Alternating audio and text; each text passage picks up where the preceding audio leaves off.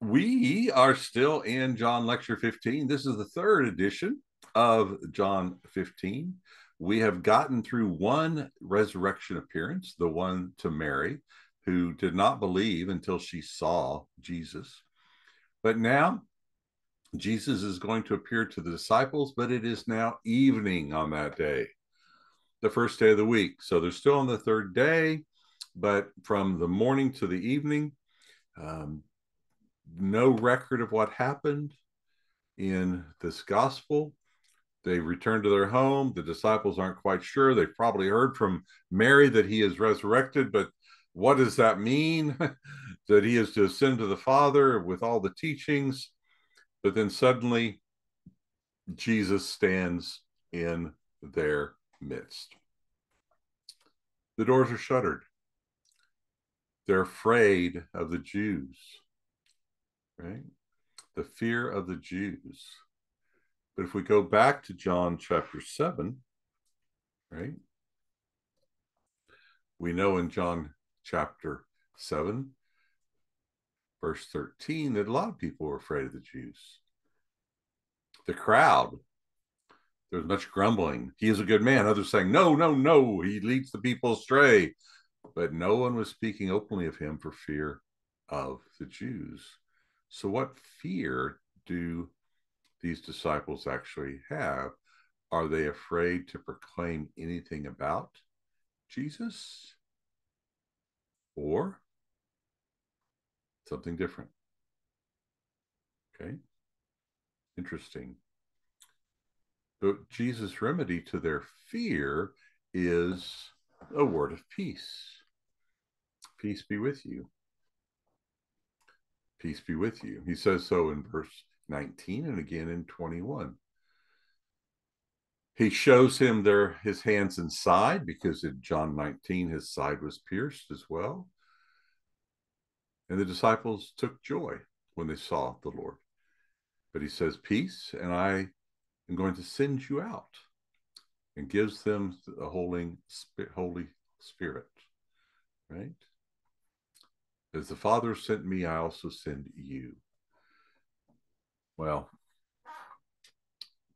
in the Gospel of John, the question is do some do people believe that the Father sent the Son? And so now they are faced with a conversation when themselves or whether they believe that the Father sent the Son. And so, if you forgive the sins of any, their sins have been forgiven. If you retain the sins of any, they have been retained because you receive the Holy Spirit. They're given power to forgive the sins of others. A lot of teaching on that one could get a little complex. Basic idea is we have the power to forgive sins, not on behalf of God, but perhaps on behalf of ourselves. We also have the power to retain sins when people are unrepentant. It's an interesting, interesting concept. But then they notice Thomas was not there. Right? The disciples are telling him that they have seen the Lord. And he then says, based on what just happened, unless I see his hand and his the place in his side. I will not be believing, taking trust in him, because they saw his hands and side. They did not believe until they saw, but they saw. And he says, I won't believe until I've seen because this is crazy. Well, the disciples did not believe until they heard, they did not believe the word of Mary. Mary did not believe the words of the angels until she was called by name. And so then we have the third appearance to Thomas, a recognition scene. A lot of discussion about that after eight days. Right? So it's a week later. The disciples are inside. Thomas is there, and the doors are still shut. Why are the doors shut? That's a good question. Why are the doors shut? In the previous episode, they were shut because hmm, fear of the Jews. So even though they've seen Jesus, are they still fearful? That's what the story would imply. And Jesus comes and says, Peace be with you. Peace be with you. Did Jesus say this before? Well, he actually did, right? Peace be with you. How many times did he say it before? He said it twice. Is he saying peace be with you to Thomas alone in verse 26? Well, some could interpret that if they never looked at the Greek, but um, that's not what the Greek says. The Greek is a greeting to all those who are behind the closed doors. Hmm.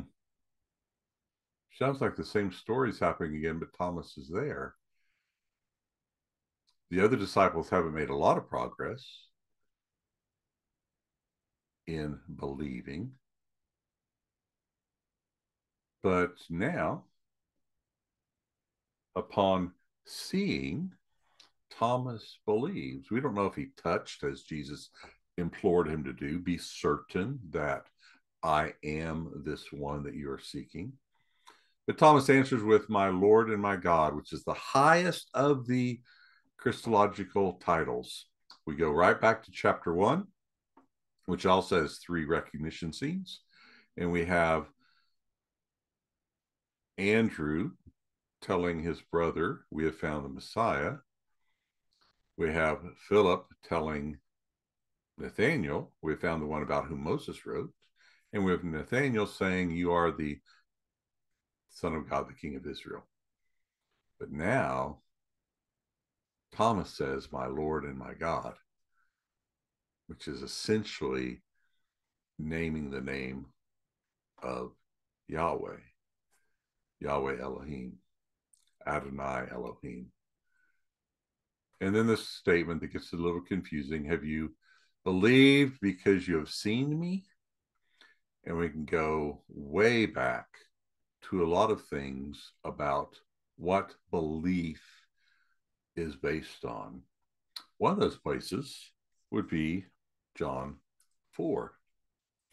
You remember the story? The woman went into town, told these people this. I, there's a guy out there. I don't think he's the Messiah, but he could be the Messiah. So they all went out to see him. and They invited him into town. And then what did they say after they had been around? Right? They said, We have believed because of the words that you are saying. And then later on, there's the man from Capernaum who comes up. And Jesus says, Unless you people see signs and wonders, you simply will not believe. It seems like there are a lot of people who want to see signs and wonders.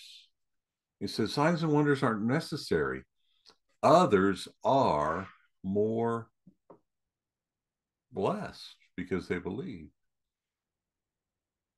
And then we can always go back to earlier in the passage where they did not see Jesus, but the other disciple saw and believed. He saw a empty tomb and believed. So even the beloved disciple did not believe without seeing. Mary did not believe without seeing. The first, the other disciples gathered in the room did not believe without seeing. And Jesus says, Have you believed simply because you have seen me? Blessed are those who did not see and yet believed. Who else might have done that? Right? Who else might have believed without seeing? Nicodemus, perhaps?